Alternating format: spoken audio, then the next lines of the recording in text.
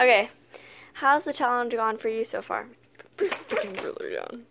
I'm hungry. Then eat. I know. You're a lost cause. Hardly. Ha-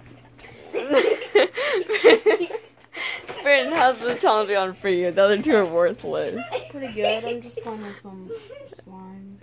It's kind of stupid though. Well, It's kind of doo doo. okay then.